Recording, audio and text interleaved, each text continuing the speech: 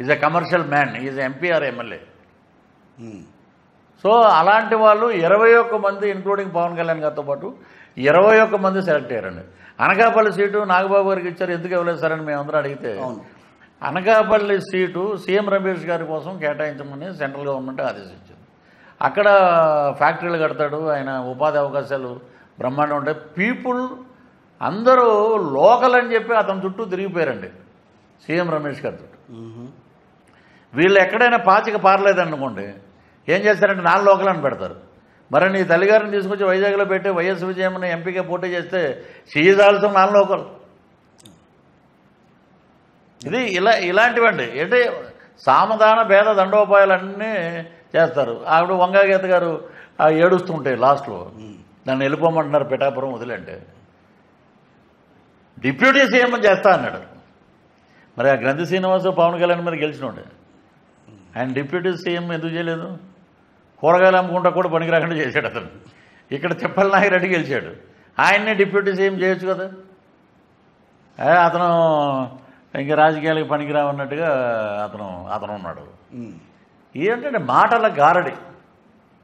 మాటలు చూపించటం జనాలు బటన్లు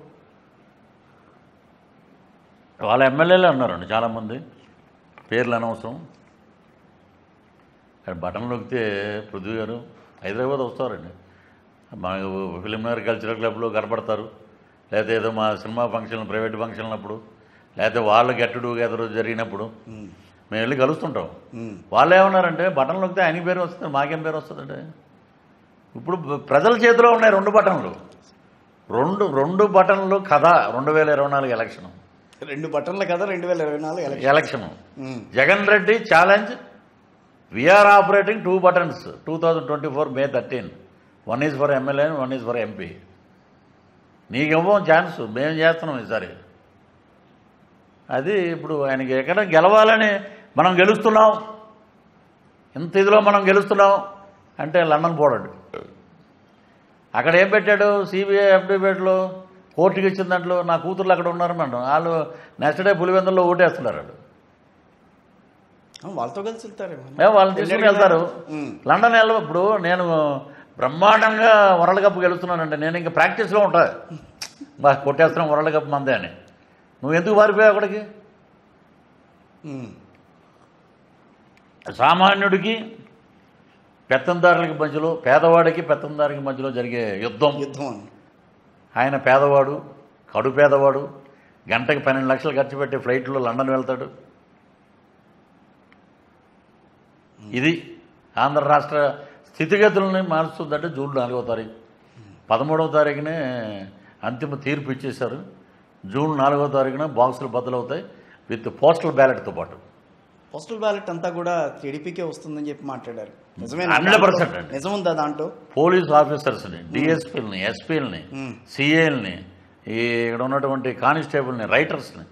మేము తిరిగిన ప్రతి నియోజకవర్గంలో ఉన్న వాళ్ళందరూ పోస్టల్ బ్యాలెట్ గుద్దెవతలు పడేసేవాడు అంటారు. నిజమే చేశారంట. మాకు జీతాలు రావట్లేదండి. అదే. మాకు ఎరియర్స్ ఆపేశాడు. మేము. ఇంట్లో ఏం తినాలండి? ఏం బతకాలి మేము? మా ఆరోగ్యాలు పాడైపోయినాయి. కాబట్టి మా మేము అనుకున్నాం ఒకటే మా తీర్పు అంతా మేము చెప్పాలని. అలాగే ఉద్యోగస్తులు. అన్ని రకాలుగా అన్ని క్యాడర్స్. గట్టి కొట్టారు దెబ్బ.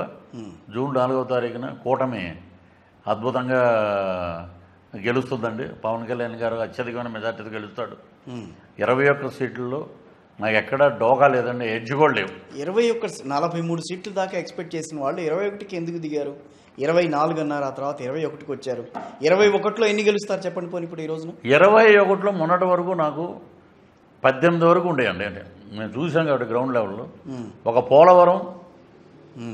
ఒకటి రైల్వే కోడూరు రైల్వే కోడూరు ఈ రెండు మీద ఉండేది నాకు. రైల్వే కోడూరు కూడా అద్భుతంగా పుంజుకున్నారంటే మళ్ళీ తిరుపతి ఆర్ఎన్ శ్రీనివాసులు గారు కూడా ఒక కమ్మవారి ఆత్మీయ సదస్సును ఒకటి పెట్టారండి. ఇంచుమించు తిరుపతిలో ఆ- కాన్స్టిట్యున్సీలో ఉన్నవాళ్ళు ముప్పై ఎనిమిది వేల మంది ఉన్నారండి ఓటర్స్ అక్కడ బలిజాలు ఎక్కువ అక్కడ బలిజలు ఎక్కువ. బలిజలు ఎక్కువ. బలిజలు ఎక్కువ ఉంది. కాబట్టి ఈ ముప్పై ఎనిమిది వేల ఓట్లు తెలుగుదేశానికి పడిపోయే ఓట్లు అండి అవి. కూటమి అభ్యర్థి కాబట్టి ఆర్ఎన్ శ్రీనివాస్ పడుతున్నాయి. ఓకే. సో అలాగే చంద్రగిరి. ఎక్కడి నుంచి వచ్చిన వాడేగా వైసీపీ నుంచి వచ్చిన వాడే. చంద్రగిరి. పులవర్తి నాని ఆయన మీద హత్యాప్రయత్నం ఇవన్నీ కనపడుతున్నాయి మొత్తం గొడ్డల పోట్లన్నీ. అవును. మీరు వైనాట్ వన్ సెవెంటీ ఫైవ్ అనే రాగాలు తీసుకున్న వాళ్ళు మీకు వన్ సెవెంటీ ఫైవ్ వచ్చినట్టయితే ఇంత అరాచకాలు ఎందుకంటే ఇన్ని అకృత్యాలు ఎందుకు ఆఫ్టర్ పోలింగ్? ఇన్సెక్యూరిటీ మళ్ళీ వచ్చేస్తుంది మైండ్లో. రేపు పొద్దున్న ఏదైనా జరగవచ్చు. మనం ఏంటి? అనేది. ఉమ్. బట్ పీపుల్స్ వర్డిక్ట్ మటుకు అద్భుతంగా ఉంటుందండి. టూ థౌజండ్ ట్వంటీ ఫోర్ మీకు చూడండి నాలుగో తారీఖున మీరు మేము కాకినాడలో ఉంటాం మేము ఎలక్షన్ రిజల్ట్ చూస్తుంటాం. ఒక విలేకరులాగా మీకు లైవ్ అప్డేట్స్ ఇవ్వమంటే నేను ఇస్తాను మీకు. జూమ్లోకి వచ్చి. ఓకే. కానీ ఒకటండి పృథ్వీ గారు అని అంటే వైఎస్ఆర్ కాంగ్రెస్ పార్టీలో ఆయన ప్రస్తుతం